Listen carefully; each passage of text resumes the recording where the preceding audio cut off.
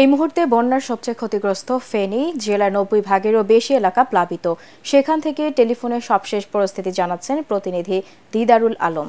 গত কয়েকদিন ধরে ফেনীতে ভারী বৃষ্টি এবং ভারতের উজান থেকে নেমে আসা পাহাড়ি ঢলে ফেনী, ফুলগাজী পশুরাম এবং ছাগলনাইয়া সহ ফেনীর সদরেরও বেশ কয়েকটি ইউনিয়ন পানিতে তলিয়ে গেছে এবং ফেনীর মুহুরী কুহু এবং সিলোনিয়া নদীর যে বন্যা নিয়ন্ত্রণ বাঁধ সেই নিয়ন্ত্রণ বাঁধের সাতাশটি অংশ দিয়ে অনবরত পানি ঢুকছে, যে কারণে পানির প্রবল স্রোত এবং এই স্রোতের মধ্য দিয়ে স্পিড বোট দিয়ে যারা বন্যায় আটকা পড়েছেন, তাদেরকে উদ্ধার করতে খুব বেগ পেতে হচ্ছে।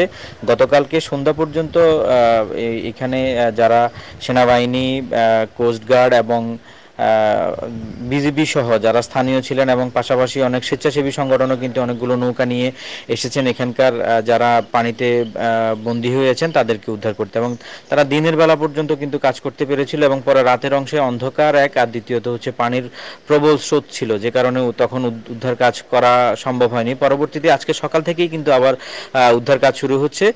একটি কথা বলে রাখি, ফেনীর ফুলগাজী পশ্চিম এবং ছাগলনাইতে কিন্তু কোনো আসলে আশ্রয় কেন্দ্র নেই। সেখানে যে সকল শিক্ষা প্রতিষ্ঠানগুলো রয়েছে, সেগুলোকে জরুরি ভিত্তিতে সেখানকার আশ্রয়কেন্দ্র হিসেবে ঘোষণা করা হয়েছে এবং সেখানেই আসলে বন্যা দুর্গত যারা রয়েছেন তাদেরকে এনে রাখা হচ্ছে এবং আমরা কিছুক্ষণ আগেও ফেনীর পশুরামে যোগাযোগ করার চেষ্টা করেছিলাম। আসলে গত গতকালকে দুপুরের পর থেকে আসলে কিন্তু ফেনী জেলাতে কোথাও কিন্তু বিদ্যুৎ সংযোগ নেই এবং পাশাপাশি মোবাইল টাওয়ারগুলো কিন্তু বন্ধ হয়ে গিয়েছে, যে কারণে আমরা আসলে সকাল থেকে খবর পাচ্ছি না যে আসলে বর্তমান পরিস্থিতি কি। তবে আমরা কিছু কিছু মাধ্যমে আমরা খবর পাচ্ছি যে আসলে পশুরামের একদম যেগুলো প্রত্যন্ত অঞ্চল, সেসব অঞ্চলগুলোর থেকে কিন্তু মানুষদেরকে উদ্ধার করা সম্ভব হচ্ছে না। সেখান পর্যন্ত বোট গিয়ে পৌঁছতে পারছে না বলে আমাদেরকে অনেকে জানিয়েছেন। তবে হতাহতের খবর বলতে আমরা গতকালকে বিকেল পর্যন্ত ফেনীতে বন্যার পানিতে একজনের মৃত্যু খবর আমরা নিশ্চিত হয়েছি। এরপর আসলে এখন পর্যন্ত মৃত্যুর খবর কিন্তু আমরা এখন পর্যন্ত পাইনি।